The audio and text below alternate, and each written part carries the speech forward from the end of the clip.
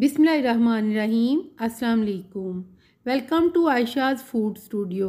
Viewers आज मैं आपके लिए एक बहुत ही मज़ेदार और हेल्दी रेसिपी लेकर आई हूँ। ये बच्चों और बड़ों दोनों के लिए फ़ायदेमंद है। आप ये गजाइत से भरपूर रेसिपी बहुत ही कम वक्त में आसानी से तैयार कर सकते हैं। आज हम बनाएँगे चॉकलेट फ्लेवर खजूर ड्राई फ्रूट रोल। रेसिपी का आगाज़ करने से पहले, अगर आपने मेरे चैनल को सब्सक्राइब नहीं किया तो उसे सब्सक्राइब कर लें बेल आइकॉन को भी प्रेस कर दें, ताकि मेरी तमाम रेसिपीज़ आपको बर वक्त मिल सकें। चलिए आप रेसिपी का आगाज़ करते हैं। खजूर ड्राई फ्रूट रोल बनाने के लिए पहले हम नट्स को ड्राई रोस्ट करेंगे। इसके लिए हमने लिए हैं बादाम हाफ़ कप अखरोट वन फोर्थ कप काजू वन फोर्थ कप पिस्ता वन फोर्थ कप वीवर्स आप अपनी पसंद के कोई भी ड्राई फ्रूट्स ले सकते हैं और उनकी क्वांटिटी भी आप अपनी पसंद के मुताबिक एडजस्ट कर सकते हैं। एक पैन को लो फ्लेम पर गर्म करके हम इसमें ड्राई फ्रूट्स डाल देंगे।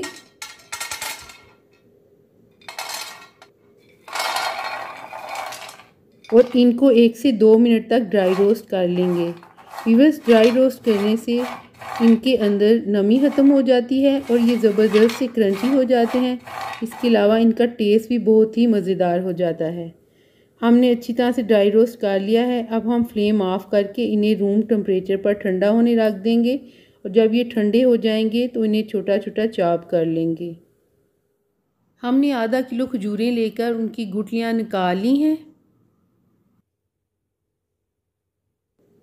अब हम इनको ग्राइंडिंग जार में डालकर अच्छी तरह से ग्राइंड कर लेंगे।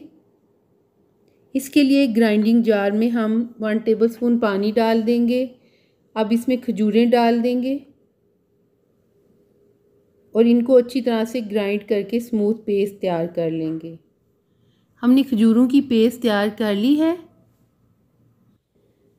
अब इसमें टू टेबलस्पून भरकर कोको पाउडर डाल देंगे। मिक्स करेंगे। कोको पाउडर डालने से खजूर और नट्स के रोल में बहुत ही ज़बरदस्त सा चॉकलेट फ्लेवर आ जाएगा। ये मिक्स हो गया है half teaspoon instant coffee powder को हमने वन टीस्पून पानी में अच्छी तरह से मिक्स कर लिया है। वो इसमें डाल देंगे। वीवर्स ये ऑप्शनल है। आप चाहें तो इसे स्किप भी कर सकते हैं, लेकिन इससे फ्लेवर बहुत ही टेस्टी हो जाता है। हमने अच्छी तरह से मिक्स कर लिया है। अब हम अपने नेक्स्ट स्टेप की तरफ़ चलते हैं। एक पैन को मीडियम टू लो फ्लेम पर गर्म करके इसमें वन टीस्पून बटर डाल देंगे। इसको मेल्ट कर लेंगे। हमने खजूरों का जो अमीज़ा तैयार किया था, वो अब इसमें डाल देंगे।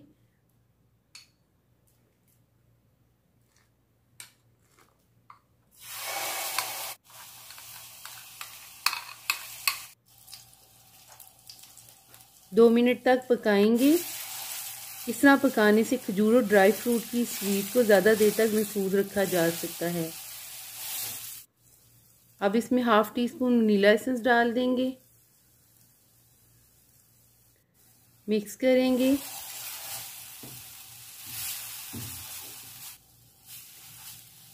नट्स को ठंडा होने के बाद हमने चॉप कर लिया था, अब वो इसमें डाल देंगे।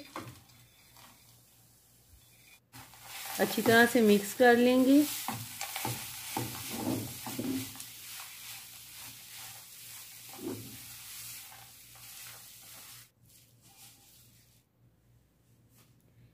एक चुटकी नमक इसमें डाल देंगे। ये स्वीट के टेस्ट को मज़ीद बढ़ा देगा। मिक्स कर लेंगे, फ्लेम ऑफ़ कर देंगे।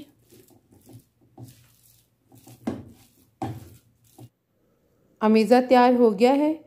अब हम इसे कवर करके थोड़ी देर के लिए रख देंगे। जब ये नॉर्मल टेम्परेचर पर आ जाएगा तो हम इसका रोल तैयार कर लेंगे। रोल बनाने के लिए हम फॉइल पेपर लेंगे। इस पर हाफ़ कप पिसा हुआ खोपरा डाल देंगे। व्यूवर्स आप फॉइल पेपर की जगह पर बटर पेपर भी यूज़ कर सकते हैं। अब इस पर अमेज़ा डाल देंगे। और इसको इस तरह रोल करेंगे। कि इस पर हर तरफ़ पिसे हुए खोपरे की कोटिंग अच्छी तरह से हो जाए।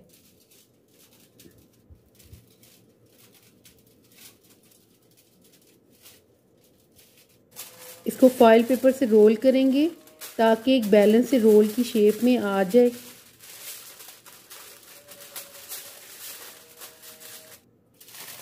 रोल तैयार हो गया है।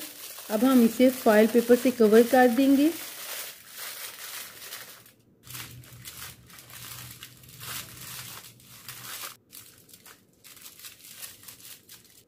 और इसे आधे घंटे के लिए फ्रिज में रख देंगे ताकि अच्छी तरह से सेट हो जाए। हमने आधे घंटे के बाद इसको फ्रिज से निकाल लिया है। अब हम फ़ाइल पेपर उतार देंगे।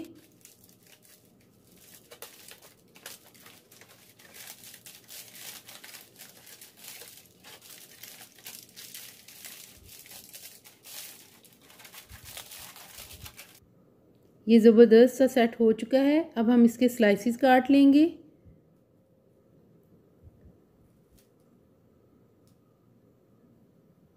देखिए, हमने इतनी आसानी से और इतने कम वक्त में मज़ेदार सी हेल्दी रेसिपी तैयार कर ली है। माशाल्लाह, बहुत ही ज़बरदस्त लग रहा है। चलें, अब इसे डिश आउट कर लेते हैं। हमने इन्हें डिश आउट कर लिया है। माशाल्लाह, बहुत ही ज़बरदस्त लग रहे हैं। चलें, अब इन्हें टेस्ट कर लेते हैं।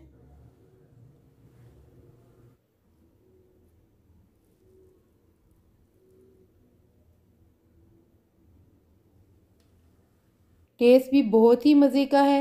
आप भी ज़रूर बनाएगा इंशाल्लाह सबको ये स्वीट बहुत ही पसंद आएगी।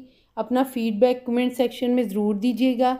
अगर आपको ये रेसिपी अच्छी लगी है तो इसे लाइक करें, ज़्यादा से ज़्यादा शेयर करें। अपना बहुत ख्याल रखिएगा। अल्लाह हाफिज़।